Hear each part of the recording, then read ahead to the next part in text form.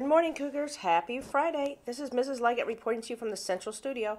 We are so glad you're here. Today is March 24, 2023. Today is a B day for specials. Please stand and say the Pledge of Allegiance.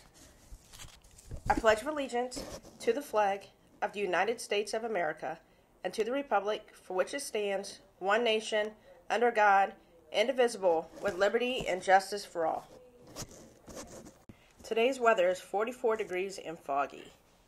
Happy birthday to John Paul Rodriguez. Over the weekend, happy birthday to Ashton Ballard, Grace Hall, and Ethan Polanco Valverde.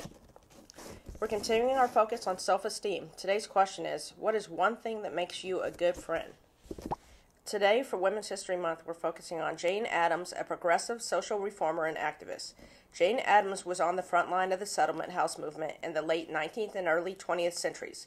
She later became internationally respected for the peace activism that ultimately won her a Nobel Peace Prize in 1931, the first American woman to ever receive this honor. Congratulations to these students for earning a Cougar shout out yesterday. Great job. Today is National Cheesesteak Day. In the 1930s, the cheesesteak was created by Pat and Harry Olivieri, hot dog vendors who just so happened to put steak on the grill. Central Cougars, be a positive leader, be great. Remember those Cougar expectations. Be responsible, be respectful, and be safe. Make today count, and remember, Cougars rock.